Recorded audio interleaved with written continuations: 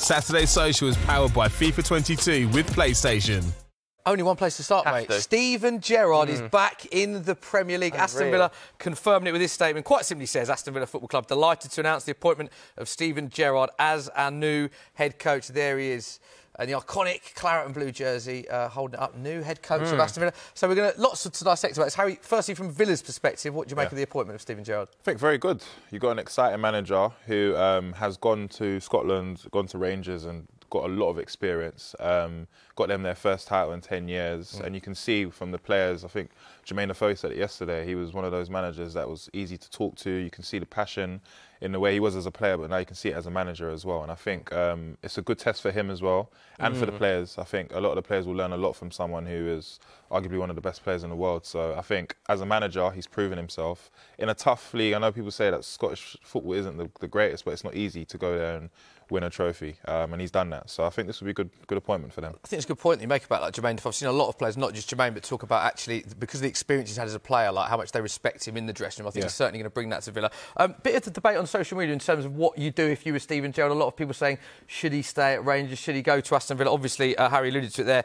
Won the season, uh, invincible season, didn't he, for Rangers? They finished on 104 points, first time they won a trophy in 10 years. I don't know if you remember that him going through the streets, he was idolised by the Rangers fans before that. Not anymore. So yeah, if you were in Steven Gerrard's shoes, what would you have done? Gone to Villa because obviously he had a great situation at Rangers, but obviously Villa is a huge football club as well, and it's Premier League football. Yeah, I mean it's uh, it's not easy because he could have essentially stayed at Rangers for a couple more years, waited till maybe whatever happens next with Jurgen Klopp, and, and possibly make the move to to Liverpool. Um, however. I think for himself to try and test himself now in the Premier League because if it goes wrong, that move to Liverpool might might never happen potentially. Um, but it's good to see whether he can test himself, try and uh, prove his worth in the Premier League because if he does do well, his stock you know quadruples to be quite honest in, in, as, a, as a manager. Yeah, I kind of agree with that. I think that you can play it safe for so long, but at some stage you've got to make that jump to the Premier League if you want to go on and manage Liverpool. And is there a better opportunity than, than this Villa job? Like, it's an amazing opportunity. The only thing I would say is I've seen, a bit like you said there, the debate online about this sort of Rangers versus Villa. I know that a lot of Rangers fans kind of extremely miffed that he's left them mid-season when they are in uh, like a title battle with a pretty resurgent Celtic side, and lots of people kind of saying, well, you know, the Villa job's the bigger role right now, and other obviously the Scottish fans Yeah, it's quite saying split, isn't it? Rangers Yeah. is the bigger role. What do you think is the bigger role in football? The Villa job as it is now, which is let's face it, sort of mid-table, maybe pushing up for Europa League, or competing for league titles with Rangers. I'd say Villa, um, and the reason why I'd say that is because with with Rangers, yeah, I believe that he's built something there. There's an infrastructure there that he's set up. Um, like I said, you know, the first league title in mm. ten years, and you can see that these players have learnt a lot. Some of the young players as well from him as well. So I know the next manager that comes there hasn't really. Obviously, he's got big uh, boots to fill, but there's something set up there. With with Villa, the job is trying to get into Europe, and you know how tough this season's been as well. It's not going to be an easy job for for for Steven, and we've seen a lot of managers come and go this season alone. So I think it's a tough job.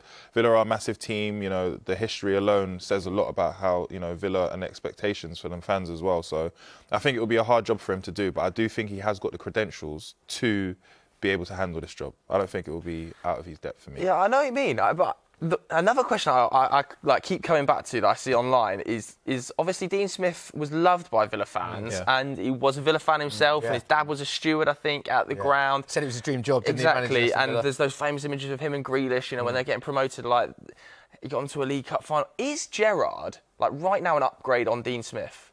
Like, because Dean Smith has got really good pedigree managing and bringing teams up. Last season they finished 11th, produced a really uh, like attractive brand of football.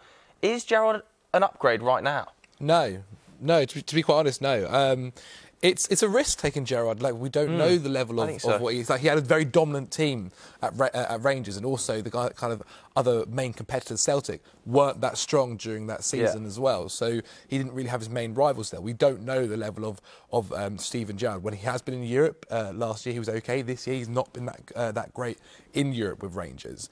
Um, so it's it's interesting. There's just so many unknowns. Like they could have now have got a manager who has the potential to be unreal. Like he's a modern day manager. He wants to play possession-based football, um, but if it doesn't work out Mm. for him and for Aston Villa, it could be really, really bad. What I will say is a lot of Villa fans are excited about it, aren't they? When they're Yeah. with all the names, Yeah, they're for looking sure. at the exciting prospect that he is. I know a lot of Villa Just fans, risk. yeah, that, that were looking at the various options, and a lot of them are very excited about Gerrard. What, what do you think Gerrard will make of the squad? Do you think he'll look at it and go, "There's a lot of talent there"? Obviously, we all know they lost Jack Grealish, who's, you know, for many Villa fans described as irreplaceable, but they, they do have good players, don't they? Watkins, Ings, uh, McGinn, Buendia. Or do you think he'll look at that and go, "He needs to spend"? Um, I think he needs to spend defensively. Um, I think attacking wise and midfield wise, I actually think they're really, really well stocked. Um, as you mentioned, Watkins, Danny Ings, Bailey, I think is really, really good. Ben Buendia they brought in, um, and and also uh, Ramsey that's coming through as well. Midfield, he's Yeah, really, really yeah. good. I think defensively they might need to um, to maybe kind of fix up in some way. I think they've got. I think their attack, even though that, um, there's so many new players and they're, they're trying to kind of blend together, that they will come good. Whereas um, at the back they are letting in a lot of goals at Mm. the moment, and, and that's even with Martinez, who's been fantastic Yeah, in goal yeah, for them. yeah, uh, maybe less so this season, ve- very much so last season. Uh, so yeah, I think they, if they do spend, it probably needs to be focused uh, towards the back end of the squad. Harry, what do you think a successful season? Because it's an interesting one with Villa, isn't it? Obviously, you mentioned there, 11th last season. They're now 16th, lost five in a row. They're only two points off relegation places, which I think a lot of people are surprised about given uh, how they were last season. So, what, what do you think a successful season for Gerrard at Villa will be this season? I think a top 10 finish. I think if they can finish higher than what they finished last season, Yeah. I think that will show the progression or the mindset of what uh, Steven Gerrard Do you think he can achieve that with this with this club? It's a bit. It's, it's, I think punchy, it's, innit? Yeah, That it's is a bit punchy, a top 10 finish. Because, like you said, he's not upgrade for me from Dean Smith. Dean Smith, you could see, brought them from you know Championship to Yeah. where they are right now. They was amazing as well. The brand of football, like I said, was amazing. And to then change that to uh, the style of play that Gerrard is going to play is a bit difficult. I think we'll judge it after a few games and see how he is with the players as well. You've got an array of talent, like you said, and I think what Zac said as well. That for me, the defense is the main thing for me. How is he going to get them not mm. conceding goals is the tough one because I think they've got one of the best centre backs for me in the Premier League with Ezri Konsa, and I think they need to build on that because the partnership between him and Ings, I mean uh, Mings, sorry, hasn't been mm. This as, season in as particular strong has been a bit. as it's been before. They got Tuanzebe on loan from United. Mm. He hasn't been playing as well, so I think if you can sort that out, then we can actually start to say how it's going to work. The other thing that's been interesting this week as well is whenever we were talking about Gerrard, people say always use the phrase, "Is it a stepping stone for Liverpool?" I heard Jamie mm. Carragher, another pundit, say that's actually can be a bit disrespectful to Villa as well, obviously, Yeah. because but obviously Steven Gerrard is a Liverpool legend and uh, mm. he's, he's always going to be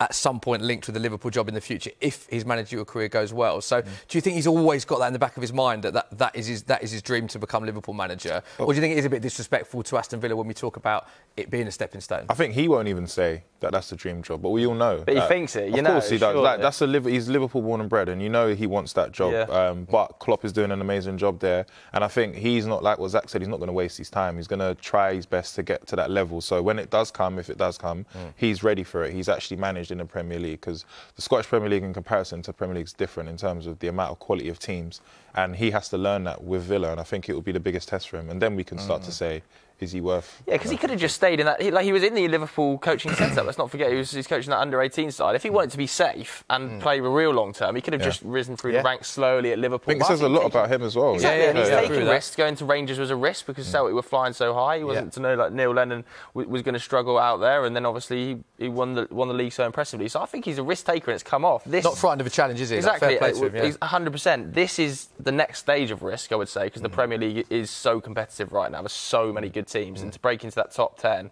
when Brighton are playing like they are, Wolves are playing like they are, Tottenham are resurgent under Antonio Conte, you'd think is going to be is going to be difficult. Uh, I did want to bring up a couple of tweets that I saw on social media about this, though, from, from Sky Sports presenters. We're starting with Micah Richards, who tweeted saying, I wonder if Carra is going to protect Gerrard like Neville protect, protects Solskjaer. Lots of emojis, but that's not my business with a little Kermit. Yeah. And then Jimmy Carragher replied, they should keep him as they've tried Dean Smith and Steve Bruce before, so they're not going down that road again. Obviously, referring to Gary Neville's Yes. shouts that United shouldn't get a new manager because they've tried Jose Mourinho, Lou Van Gaal. HP, thoughts? I think you know what. Well done to Michael. Well done. Because look, I- I'll say one thing. I think with um, managers that I've played, you know, and whatnot, it's very hard to. They well, presenters find it very hard to get onto them. And I think with with Carragher, I think he's said it how it is at the end of the day. Like when a manager is going under a bad spot, you got to be honest and say that this is not working. Gary doesn't want to do it. For he's a loyal man, uh, probably you know more loyal than he should be. But um, yeah, I think it's good banter, man. Nothing more, nothing less. You know. Yeah, fair. There we go. Uh, play. right, just, just quickly, Zac, where do you think Villa will finish this season?